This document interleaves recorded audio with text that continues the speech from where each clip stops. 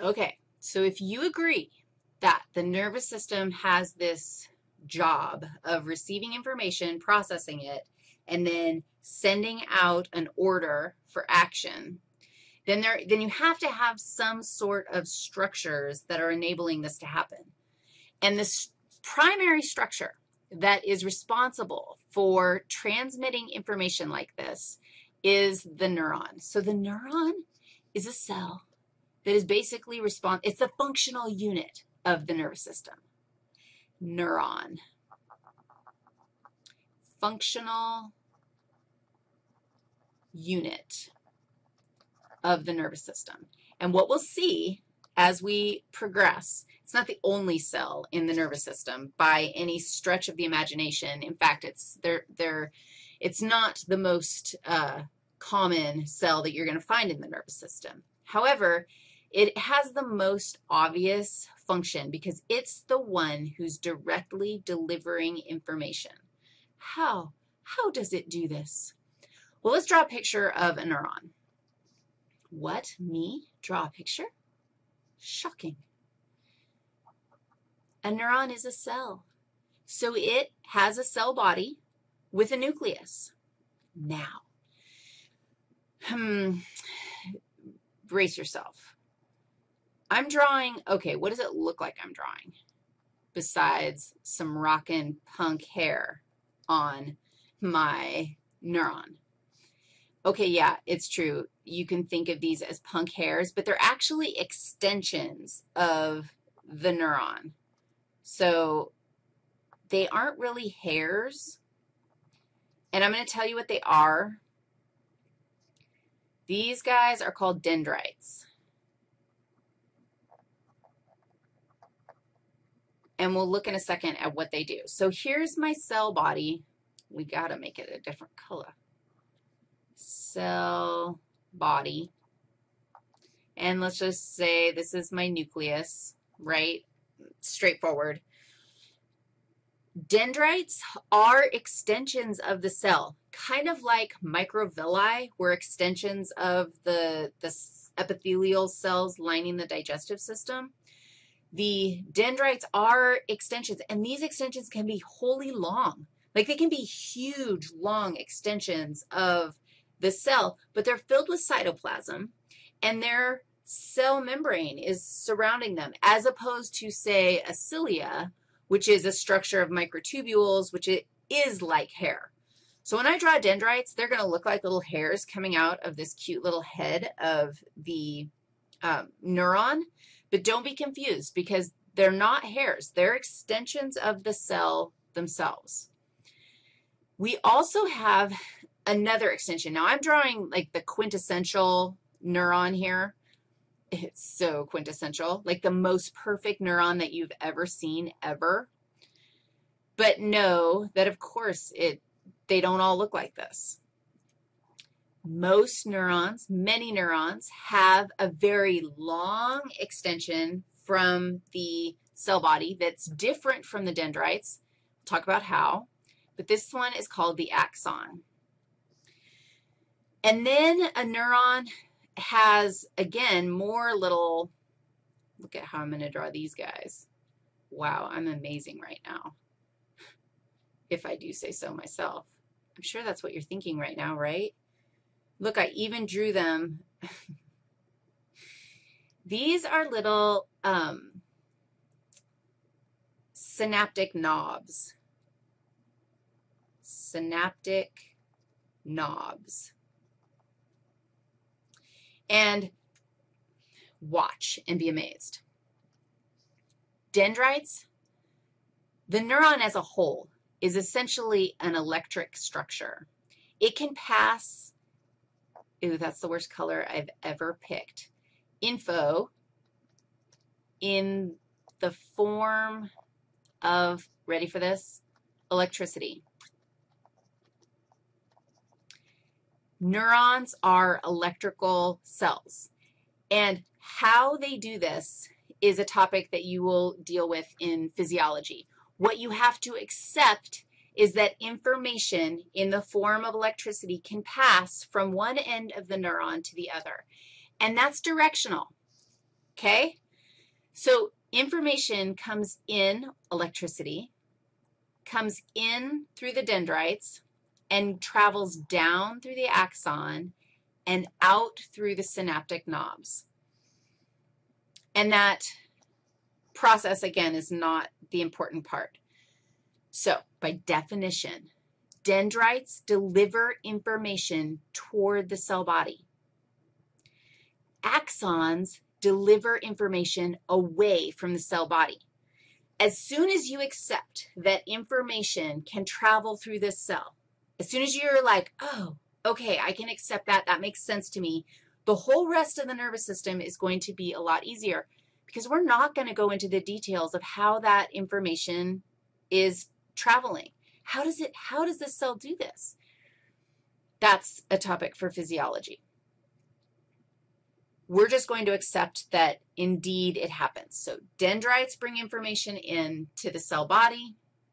That information passes through the axon toward the synaptic knobs. Now, dude, really, is that the end of the story? What happens to the information at the synaptic knobs? What happens at this point? We said that the information was electrical as it was passing through the, the neuron itself. True story, but guess what? It doesn't stay electrical for forever. Once the information passes to the synaptic knobs, it has to be passed on um, chemically. And these chemicals, again, this is, this is like we just are going to have to accept. We're not going into crazy detail here. These chemicals are called neurotransmitters.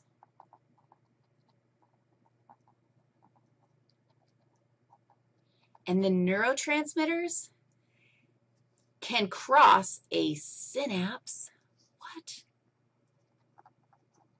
And the synapse is a space and head to either another neuron or an effector.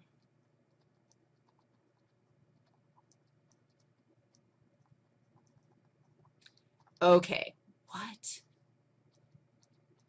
Who, what effector did I just draw here? of course you know. That's a skeletal muscle, dogs. Come on. You can have your effector be a skeletal muscle. So essentially, this neuron sent a message to my skeletal muscle to do something. What do skeletal muscles do? They contract. Watch out for the olecranon of this fella. Yeah? Or we can pass the information on to another neuron. By passing it on to another neuron, we can send messages all over the place we can send simultaneous messages to like a shockingly, oh, it hurts your head, all the possibilities of places that we can send messages if we can send the message, if we can pass it on to another neuron. Okay, do all neurons look like this? No, of course not. And in fact, I'm going to draw you one more neuron I'm going to draw you a neuron called a, I think it's a unipolar. It's a unipolar neuron. I kind of want to check really fast. That's what I'm talking about. It is a unipolar neuron. Oh my gosh, say that like 30 times fast. I'm not going to.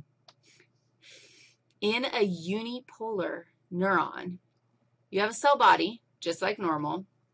But look at this. You have these, okay, it's called unipolar because it's like one thing coming out of here. And I'm not drawing it as, these are my synaptic knobs down here, right? And these are my dendrites up here. What? Really? And here's the deal. How did I know those were dendrites? because the information passes toward my cell body. How did I know that the this was my axon? Because the information passes away from my cell body to a synapse, which is going to do something, which it might be to an effector. Most of the time, this particular type of neuron isn't. Can you see your parts? Totally. if I didn't label anything, if I didn't have my little synaptic knobs, because really you can't see those, at least not in our microscope slides. If I didn't have that, if I didn't have an effector out here, could you tell which direction the information is traveling in this neuron? You couldn't tell. So if you can't tell, then you can't decide which one is the dendrite and which one is the axon. In this case, since I drew arrows on, you know this is the axon, and you know this is the dendrite. And here's what I want to tell you. That says dendrite. Your textbook says that it's, they have different names. Awesome. They're fighting about it. They're fighting about what we should call these different structures. I'm, I don't care. To me, a dendrite is taking information to the cell body. That's, it's easy. Like, let's just call it good there. They can fight about it, the details, that's awesome. An axon is taking information away from the cell body. You can't tell the difference between them unless you can tell the direction that information is traveling. I think that's everything that you want to know about your neuron. One more thing. I'm so glad that I looked at my notes really fast to see this thing. I'm going to go back to, no, I can do it here. Look, sometimes axons are covered with fatty, um, fatty, fatty, fatty, what, blobs? And these, this is myelin, and so they make up these myelin sheaths. So the axon can be covered with fat little fat blobs. And these myelin sheaths make the information go faster. They make info travel faster. And what was our info? Electricity. So it's like insulation. What? True story. So these are like little, like in a wire, like a copper wire the information will travel faster and more efficiently through an insulated copper wire, electricity will, than through a non-insulated wire. And it's the same thing with your axons. If they have myelin around them, this fatty protective insulation, then the information will travel faster than if they do not have this sheath of myelin around them. Whoa, how's that for fun times? You're good? Let's move on, and we'll do the next thing of looking big picture once more with the concept of the neuron attached in.